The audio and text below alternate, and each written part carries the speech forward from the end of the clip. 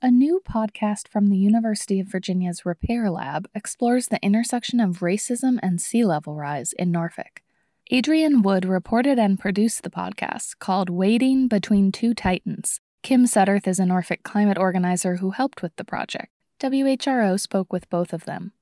So, Adrian, let's start with you. Tell me about your interest in this topic and what you set out hoping to accomplish with the podcast. I started as multimedia producer in this position in January 2022. So I started learning about sea level rise and housing in the Hampton Roads area at that time to sort of begin my deep foray into those topics. I have a background as an environmental justice organizer and advocate in pipeline struggle in Virginia and beyond. And Kim, tell me a little bit about your experience as a climate activist in Hampton Roads and what your role is with this project. I became an organizer in 2016.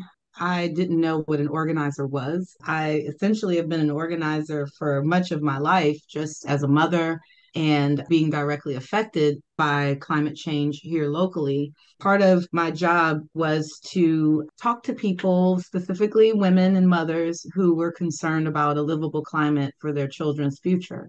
So, thinking of two titans, I grew up watching Godzilla movies. So I thought of it in the same way. The people, they might get trampled below the gentrification monster and the climate change monsters. While they're fighting it out, it's the people who get trampled below. How did you go about tackling this topic and what did you do throughout your reporting? I really drew a lot on uh, the dozens of hours of tape interviews that I recorded with residents of Norfolk, elected officials, experts, and advocates. And that helped me get to understand those processes and wheels that were already in motion around those problems of sea level rise and housing. Adrian, you mentioned in the first episode that you had to learn the right way to say Norfolk. I wonder if you can tell us how it was to learn more about this area and any challenges you encountered as a sort of outsider.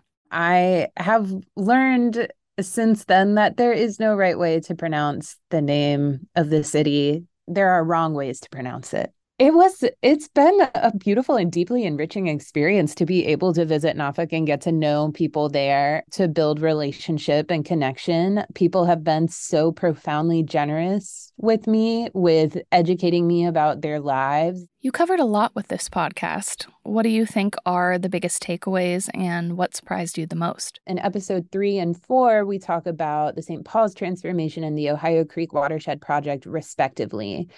And some of my investigations around those projects were surprising to me and I think to others in learning about some of the unintended consequences of very well meaning and pure intentioned projects.